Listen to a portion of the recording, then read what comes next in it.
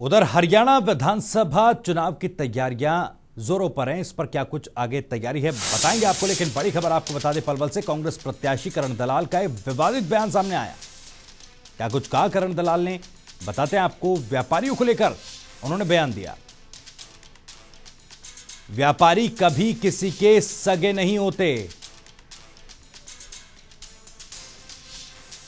बड़ी खबर आपको पलवल से बता रहे हैं। कांग्रेस प्रत्याशी करण दलाल का विवादित बयान सामने आया।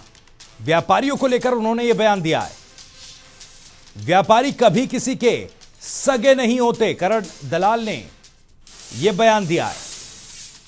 तो एक तरफ़ जहाँ हरियाणा में कांग्रेस गुटबाजी से जूझ रही है और कांग्रेस से इस्तीफा देने के बाद पूर्व प्रदेश अध्यक्ष अशोक तंवर लगातार कांग्रेस पर सवाल उठा रहे हैं। उधर दूसरी तरफ़ कांग्रेस के पलवल से प्रत्याशी करण दलाल का एक विवादित बयान सामने आया। आपके सगे नहीं हो सकते। व्यापारी लोगों ने तो हमेशा सदियों से हमारा आपका खून चूसा है। इन्हें तो अपने फ़ायदे नुकसान की पड़ी है। ये व्यापारी लोग हमारे और आपके सगे नहीं हो सकते। व्यापारी लोगों ने तो हमेशा सदियों से हमारा आपका खून चूसा है। इन्हें तो अपने फ़ायदे नुकसान की पड़ी है। ये व्यापारी लोग हमारे और आपके सगे नहीं हो सकते। व्यापारी लोगों ने तो हमेशा सदियों से हमारा आपका खून चूसा है। इन्हें तो अपने फ़ायदे नुकसान की पड़ी है। ये व्यापारी लोग हमारे और आपके सगे नहीं हो सकते। व्यापारी लोगों ने तो हमेशा सदियों से हमारा आपका खून चूसा है। इन्हें तो अपने फ़ायदे नुकसान की पड़ी है।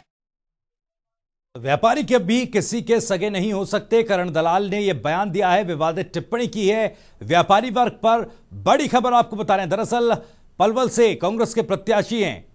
करण दलाल और उन्होंने एक जनसभा को संबोधित करते हुए यह विवादित बयान दिया है। भगत तेवतिया हमारे संवाददाता, ज़्यादा जानकारी के साथ जुड़ रहे हैं। भगत, कांग्रेस प्रत्याशी करण दलाल की तरफ़ से विवादित बयान सामने आया। उन्होंने व्यापारियों को लेकर एक विवादित टिप्पणी की। क्या कुछ अपडेट? जी, बिल्कुल। अगर हम देखें सोशल मीडिया पर एक जो कांग्रेस प्रत्याशी है और लगातार यहाँ से पाँच बार विधायक भी बने हैं, करण सिंह दलाल उनका सोशल मीडिया पर एक जो वीडियो वायरल हो रहा है, जिसमें वो कह रहे हैं कि यहाँ पर जो व्यापारी हैं, वो जनता का खून चूसते हैं। तो इसे लेकर लोगों में तरह तरह की जो, काफ़ी जो व्यापारी वर्ग है उस वीडियो को देख करके लोग व्यापारी वर्ग में यहाँ पर जो रोष है। और हालाँकि जब इस बारे में हमने करण दलाल जो कांग्रेस प्रत्याशी है, उनसे बात की तो उनका कहना था कि उन्होंने इस तरह की, ये केवल जो जो यहाँ भाजपा है, उनकी साजिश है और उन्होंने वीडियो को एडिट करके जबकि उन्होंने इस तरह नहीं बुना उन्होंने सरकार के लिए इस तरह की बात कही थी, जबकि वीडियो में स्पष्ट रूप से इस तरह की बात देखी जा रही है जो सोशल मीडिया पर ज़ोर शोरों से वायरल होगा जी, भगत, क्योंकि जो सफ़ाई दी गई करण दलाल की तरफ़ से कि ऐसा जो उन्होंने कहा, एडिट करके दिखाया गया और बीजेपी पर इसके आरोप लगाए, लेकिन वीडियो को देखकर लगता नहीं है कि किसी तरह की एडिटिंग इसमें की गई, हालाँकि जनता टीवी इसमें किसी तरह की छेड़छाड़ से की पुष्टि नहीं करता है, लेकिन जो कहना चाह रहे थे करण दलाल, क्या उसका संदर्भ वो समझा पाए क्या? जी बिल्कुल केवल उन्होंने यही केवल इतना ही उनका कहना था कि जो ये वीडियो है इसमें छेड़छाड़ की गई है और जो भाजपा की साजिश है उन्हें बदनाम करने के लिए क्योंकि वो पिछले लगातार यहाँ से विधायक बन रहे हैं और जो दूसरी पार्टियाँ वो लगातार यहाँ पराजित होती रही हैं और उनकी जो जो यहाँ पर जो लगातार उनका जनाधार बन रहा है उससे बौखला कर इस तरह की उनके खिलाफ साजिश की जा रही है। जी। चलिए बहुत बहुत शुक्रिया। भगत आपका तमाम जानकारी और बातचीत के लिए नज़र आप बनाए रखिएगा। अपडेट लगातार आपसे लेते रहेंगे।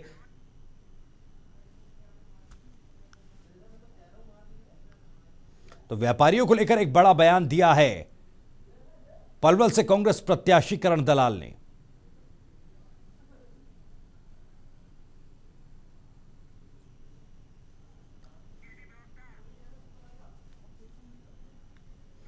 तो व्यापारियों को लेकर एक बड़ा बयान दिया और इस बीच रमन मलिक का बीजेपी प्रवक्ता हमारे साथ फ़ोन लाइन पर जुड़ गए रमन मलिक साहब बहुत बहुत स्वागत है जनता टीवी पर। धन्यवाद। जी पलवल से प्रत्याशी करण दलाल कांग्रेस के एक विवादित टिप्पणी उन्होंने व्यापारी वर्ग पर की। क्या कुछ कहेंगे? पहला रिएक्शन आपका। तो ये देखना चाहिए कि उनके वहाँ हमारे भाजपा के प्रत्याशी कौन है वहाँ पे। जी। और ये उन्होंने गुपचुप तरीके से उनके ऊपर कटाक्ष करने के लिए पूरे वैश्य समाज को आज उन्होंने कटघरे में चोर बना के खड़ा कर दिया है। ये करण दलाल जी ने पूरे के पूरे वैश्य समाज के ऊपर एक प्रतिकार करा है एक आहत करा है उनको उन पे प्रहार करा है। जी। ये इससे कम कुछ नहीं है क्योंकि उनके वहाँ पे राजनीतिक आप देखिए कि अगर टिकट किसको उनके अ, सामने कौन खड़ा हुआ है भाजपा से तो आपको ये बयान जो है उसके ऊपर स्पष्टीकरण और उसका वास्तविक जो उनका आकलन है वो भी आपको मिल जाएगा। लेकिन वो आरोप लगा रहे हैं कि उनका जो बयान है बीजेपी के आईटी सेल ने इसको एडिट करके अपलोड किया है और तमाम जो सोशल मीडिया प्लेटफॉर्म है उस पर बीजेपी साजिशन इसको फैला रही है इसका प्रचार कर रही है। देखिए प्रचार कर रही है या नहीं है ये वास्तविकता में है। देख जिस तरीके से सुखबीर जी यहाँ पे हैं गुरुग्राम में कैंडिडेट। उन्होंने ये बोला कि यहाँ गुरुग्राम के अंदर अगर रहना होगा तो सुखबीर की जय बोलनी होगी। जी। भूपेंद्र सिंह हुड्डा की जय बोलनी होगी। सोनिया गांधी की जय बोलनी होगी। भारत माता की जय नहीं चलेगी। जी। वैसे ही इन्होंने आज पूरे के पूरे वैश्य समाज को एक कटघरे में लाके खड़ा कर दिया है। उनको चोर डकैत बोल दिया है। मैं इस जानना चाहूँगा की जो जो समाज एक व्यवसाय करता है टैक्स देता है सब कुछ करता है आप उसको चोर बोल रहे हैं आपको लज्जा आपके नहीं आती है? आपके सवाल का भी और जनता टीवी के सवाल का जवाब लेने के लिए भी हमारे साथ बालमुकुंद शर्मा कांग्रेस प्रवक्ता इस वक्त जुड़ गए मलिक साहब आप भी हमारे साथ जुड़े रहिए। बालमुकुंद शर्मा साहब बहुत बहुत स्वागत है पहले तो जनता टीवी पर। जी धन्यवाद। जी। पलवल से प्रत्याशी कांग्रेस के कह रहे हैं कि व्यापारी वर्ग जो है वो किसी का सगा नहीं होता। पहली पहला रिएक्शन आपका चाहूँगा। देखिए ये ये ये जो मैं आपको बताना चाहूँगा। ये एडिटेशन है। अगर किसी भी चीज़ को तोड़ मरोड़ करके पेश करना है चाहे वो सोशल मीडिया हो चाहे या दूसरे प्लेटफॉर्म हो नहीं सर ये ये कहना बड़ा आसान हो जाता है कि किसी भी बयान को तोड़ जनता को सर ये कहना बड़ा आसान हो जाता है कि किसी भी बयान को तोड़ मरोड़ कर पेश कर दिया गया लेकिन उसका संदर्भ तो जनता को समझाइए हमें भी समझाइए। संदर्भ क्या मैं, था? मैं समझाता हूँ। देखिए कर्ण सिंह दलाल कितने सीनियर लीडर हैं वो चार पाँच दफ़ा विधायक रह चुके हैं जी। और चीज़ों को समझते हैं। जी किन चीज़ों को समझते हैं? सर यही हम समझना चाह रहे हैं। जी जी जी। क्या डर्टी पॉलिटिक्स पॉलिटिक्स के तहत हम एक वर्ग विशेष को इस तरह की भाषा उनके लिए क्या इस्तेमाल की जा सकती है? कितना जायज़ है? मैं ये कहना चाहता हूँ आप ये बताइए कर्ण सिंह दलाल जी का तो स्टेटस स्ट्रक्चर स्टेट का ही है। जी। ये खुद अमित शाह ने ये कहा था कि महात्मा गांधी एक चतुर बनिया था। ये तो इनकी पॉलिटिक्स है ना ये बीजेपी का षड- षड्यंत्र रहता है कांग्रेस के नेता ऐसी बात नहीं करते। कांग्रेस को तो विचारधारा ही नहीं है। सबको साथ नहीं नहीं तो ये फिर मानिए कि जिस तरह से की। अगर आप बीजेपी पर डर्टी पॉलिटिक्स का आरोप लगा रहे हैं तो ये कहिए कि आप भी बीजेपी के नक्शे कदम पर चल पड़े सर उस बात को भी तो मानिए ना। ये तो ये लोग करने वाले लोग हैं हम नहीं कांग्रेस तो नहीं नहीं सर। नहीं नहीं जो बयान है बाल मुकुंद शर्मा जी जो बयान है हम एक बार फिर से आपको सुनवाना चाहेंगे उसके बाद मैं आपके पास वापस आऊँगा। पहले सुन लीजिए एक हाँ, बार क्या कुछ कहा है करण दलाल ने। सुनिए जरा। ये व्यापारी लोग हमारे और आपके सगे नहीं हो सकते। व्यापारी लोगों ने तो हमेशा सदियों से हमारा आपका खून चूसा है। इन्हें तो अपने फ़ायदे नुकसान की पड़ी है। ये व्यापारी लोग हमारे और आपके सगे नहीं हो सकते। व्यापारी लोगों ने तो हमेशा सदियों से हमारा आपका खून चूसा है। इन्हें तो अपने फ़ायदे नुकसान की पड़ी है। शर्मा जी जवाब दीजिएगा। सुना होगा आपने बयान किस तरह से? वो ये कह रहे हैं कि बिल्कुल व्यापारी लोग जो ये हैं ये वो ये किसी के सगे नहीं हो सकते। बयान देखिए देखिए सुनिए सुनिए आप सुनिए। जी। इस बयान में जो आप बयान दे रहे थे उसमें ज़मीन आसमान का फ़र्क है। जी। व्यापारी व्यापारी का व्यापारी का व्यापारी का शब्द ही बदल गया। जो लोग जो लोग स्टॉक करते हैं चीज़ों के भाव बढ़ाते हैं उसके बाद आम जनता बेचती है। उनको व्यापारी का कौन खड़ा है। जी, ये सिर्फ़ मुकुल बाल है शर्मा साहब बाल शर्मा साहब शायद बहुत हल्के में आप इस बयान को ले रहे हैं और हल्के में ही जनता को निपटाना चाहते हैं। मलिक साहब क्या संतुष्ट है क्या आप इस जवाब से? जवाब दीजिएगा। देखिए मैं तो ये पूछना चाहूँगा बाल मुकुंद शर्मा जी से। कि शर्मा जी ये बताएँ कि आज करण दलाल जी जिनको प्रदेश का बड़ा नेता बोल रहे हैं जी। जिन्होंने दिखाया था कि उनको एक बड़ा महागठबंधन करना पड़ेगा जी। जो कि कांग्रेस के सारे दलों को जो कांग्रेस के खटक हैं बीच में साथ के साथ जी। वो मिल जाएँ। इस विचार से उन्होंने रखा था। मैं तो उनसे पूछना चाहूँगा कि आज ये बताएँ कि उनके सामने खड़ा कौन है? और अगर वो ये बताते हैं कि उनके सामने खड़ा कौन है तो ये स्पष्ट हो जाएगा कि किस तरीके से, किस लिए, किस मंशा के साथ इन्होंने ये बयान दिया है। और ये बयान बिल्कुल सिर्फ़ एक वर्ग विशेष को दिमाग में लेकर दिया गया है और पूरे के पूरे वैश्य समाज के ऊपर ये एक प्रतिकार है, आहत करा है उनको। और एक एक तरीके से एक समाज को आपने ये दिखाया है कि वो सिर्फ़ कुरीतियों में लगे हैं। ये पिछले मदर इंडिया की जिस तरीके से मदर इंडिया में एक व्यापारी को दिखाया गया था उसी लाइट में सारे के सारे व्यापारियों को सारे के सारे वैश्य समाज को दिखाना चाहते हैं। जी। शर्मा जी जवाब दीजिएगा। देखिए मलिक साहब बड़े सुलझे हुए व्यक्ति हैं इतने बड़े प्रवक्ता हैं पार्टी का पक्ष रखते हैं। जी। लेकिन मुझे समझ में नहीं आती क्यों इस तरह की जातिगत बात करते हैं ये लोग। एक व्यापारी में और नहीं, बात तो सर बात तो करण दलाल कह रहे हैं ना सर? बात तो करण दलाल कह रहे हैं वो एक विशेष वर्ग को व्यापारी वर्ग को जिस तरीके से एक अभद्र टिप्पणी उस पर कर रहे हैं सवाल तो उठने जायज़ है।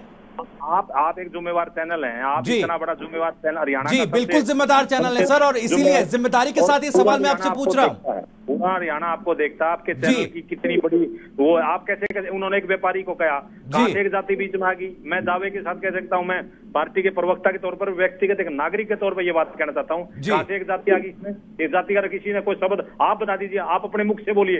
अब ये रिकॉर्डेड बात है आप अपने मुख से बोलिए उन्होंने किसी जाति का नाम लिया। भारतीय जनता पार्टी के प्रवक्ता हो या दूसरी पार्टी में प्रवक्ता हो एक दूसरे पर लाथन लगाने का काम करते हैं। और करना भी चाहिए राजनीति ये कहती है। लेकिन व्यापारी तो अंग्रेज़ भी व्यापारी थे लगाने को नहीं शर्मा जी बाल मुकुंद शर्मा जी डैमेज कंट्रोल तो आप कर रहे हैं लेकिन एक जिम्मेदार चैनल एक जिम्मेदार चैनल सुनिए बाल मुकुंद शर्मा जी सवाल मेरा है। एक तभी उन्होंने ये कहानी करी है। अंग्रेज़ भी हिंदुस्तान में जी क्या क्या व्यापारी वर्ग को व्यापारी वर्ग को कटघरे में खड़ा करके क्या वोट पोलराइजेशन की कोशिश यहाँ पर करण दलाल की तरफ़ से की जा रही है या फिर सीधे सीधे जो बीजेपी के वहाँ पर प्रत्याशी हैं उन पर निशाना साधने की कोशिश की संदर्भ तो समझा दीजिए सर। आखिर है क्या संदर्भ? क्या मतलब है नाम लीजिए ना बाल मुकुंद शर्मा जी नाम लीजिए कि उनके सामने कौन खड़ा है? जी। करण दलाल साहब के सामने बीजेपी का प्रत्याशी कौन है? नाम लीजिए आपको। आप आप खुद ऊपर आपको सामने आ जाएगी सारी बात। आप ये बताइए अंग्रेज़ भी व्यापारी बन के आए थे और इन्होंने कहा सदियों से लूटा है तो सदियों से अंग्रेज़ों ने लूटा हमें। अंग्रेज़ अंग्रेज़ों के पीछे तो नेहरू खानदान भी पड़ा हुआ था। अंग्रेज़ों के वहाँ अंग्रेज़ों की पढ़ाई और अंग्रेज़ों की नीयत वही काम करते रहे थे नेहरू साहब भी। तो आप उस तरफ़ ले जाना चाहते हैं क्या? आप तो आप उसको छोड़िए आप ये बताइए अभी कि उनके खिलाफ खड़ा कौन हुआ है? आप अंग्रेज़ों का साथ दिया। आप ये मान के चलिए। आप ये बताइए कि करण दलाल जी के सामने उनका भाजपा का प्रतिद्वंदी कौन है? कोई नाम बोलिए। एक तरफा है। करण दलाल जी के तरफ़ कोई प्रतिनिधि करण दलाल जी हार रहे हैं। उनकी फ्रस्ट्रेशन इस तरीके की है कि उन्होंने पूरे के पूरे व्यापारी समाज के ऊपर पूरे के पूरे वैश्य समाज के ऊपर आज ये आहत करने वाले शब्द बोले हैं। मैं ये बोलता हूँ कि शब्दों की जितनी भत्सना उतना कम है। आप मापदंड रखो ना मलिक साहब। राजनीति का भी अपना पैमाना होता है राजनीति का भी अपना एक मापदंड होता है मलिक साहब। ऐसा नहीं है ऐसा बिल्कुल नहीं दीपक मंगला जी दीपक मंगला शर्मा जी शर्मा जी राजनीति के मापदंड क्या इतने छोटे हो गए हैं कि इस तरह की अभद्र टिप्पणियों का इस्तेमाल राजनीति में करना पड़ेगा? और क्या क्या ये हम समझे कि इस वक्त हम एक जो नेगेटिव पॉलिटिक्स है उसके रसातल में पहुँच चुके हैं? और वही पॉलिटिक्स कांग्रेस अब कर रही है। अब आप बात समझिए वो अंग्रेज़ों के बारे में करें। अंग्रेज़ व्यापारी बन के आए थे उन्होंने मैं सदियों लूटा। बेचारे किसी अगर किसी समाज में कौन सा अंग्रेज़ आ गया अंग्रेज़ व्यापारी बन के आए थे व्यापारियों ने लूटा। कौन सा अंग्रेज़ आ गया? अंग्रेज़ों ने हमें लूटा। चलिए वक्त मेरे पास कम है बहुत बहुत शुक्रिया। लेटेस्ट अपडेट्स के लिए दबाना न भूलें बेल आइकन और सब्सक्राइब करें हमारा यूट्यूब चैनल।